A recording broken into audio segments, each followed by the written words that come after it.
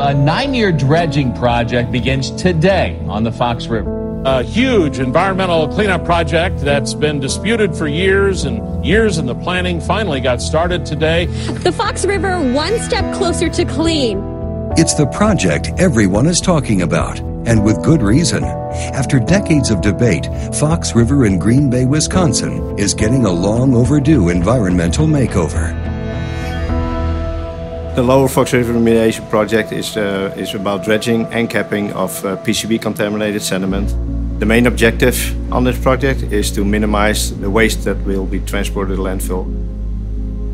Yeah, special about this project is that the 6 million cubic yards that comes out of the river is in an inline process. The dredges sucks it out of the river, pumps it through a pipeline straight to our processors into our facility.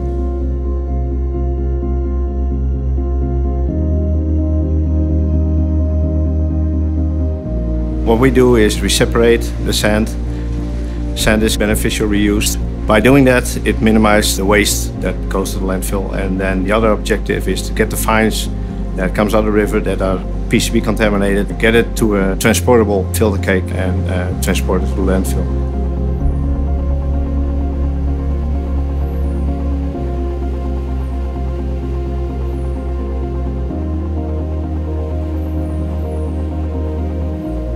We separated a total of 800,000 tons of sand uh, that has been reused on local highway project. By using it on a local highway project uh, as beneficial reuse uh, material, uh, it's a huge saving for our client.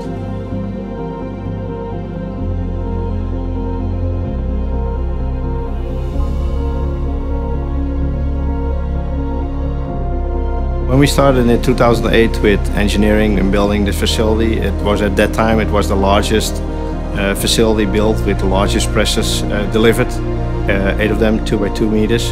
Volume-wise, this is the largest project in the world, actually, uh, to process this kind of material.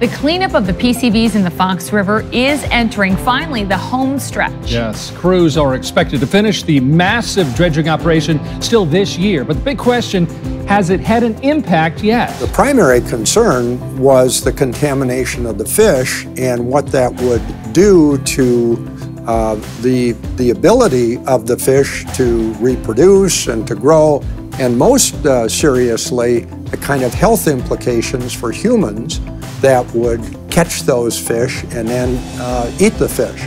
It takes a number of years of monitoring to establish a trend and to be certain about things, but so far the data looks very good and we're getting very good reductions.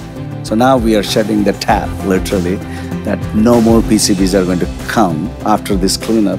That's a massive success story. This is a huge deal. This is probably one of the most successful cleanups across the United States and Canada, and probably one of the most successful in the world as well. And people should know about it.